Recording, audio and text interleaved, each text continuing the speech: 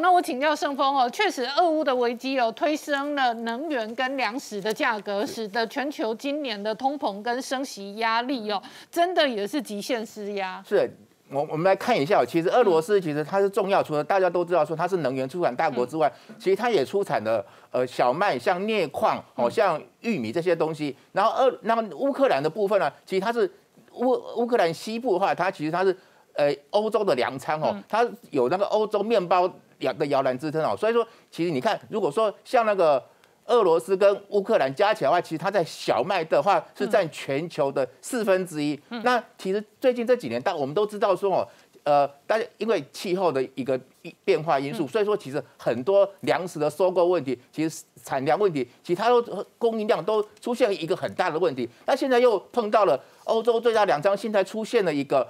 一个供应不不来源不稳定的一个现象，所以会所以带带动了全球的一个除了能源价格上涨之外，其实。呃，我们刚刚看黄小玉价格、期货价格全面飙高哦，而且黄豆的价格上涨，而事实上畜牧业就会可能跟着涨，因为黄豆也做很多饲料，然后小麦事实上是面粉、面制品的原料，对，所以将来大家吃面或者买面粉、面包、面条，可能都会涨价。对我补充一点，其实。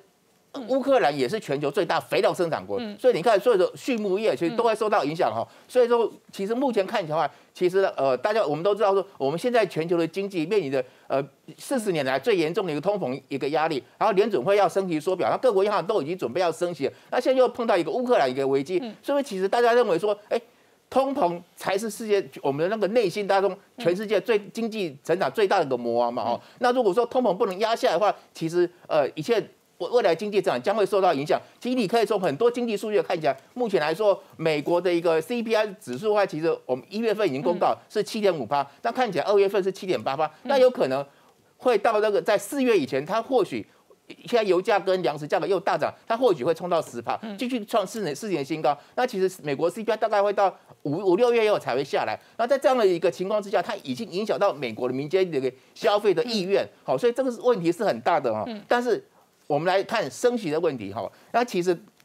我我们现在回归一下市场的一个问题，其实高盛他最近也曾经有个说法啊，其实目前美国股市来说，它已经反映了地缘政五趴的一个效应哦，那欧欧洲的话是反映八趴，那未来全球股市它会变动，你要看俄罗斯卢布的一个一个汇价，如果卢布持续贬值多少，那全球股市就会跟它震荡多少，那你看。纽纽西兰目前来说，它为了抗通膨，那半年来已经升息三次。那全球经济基金市场当中，其实巴西已经升息八次，墨西哥升息三次，南韩也升息三次。全球目前来说都是升息的一个压力。好，我们稍后回来。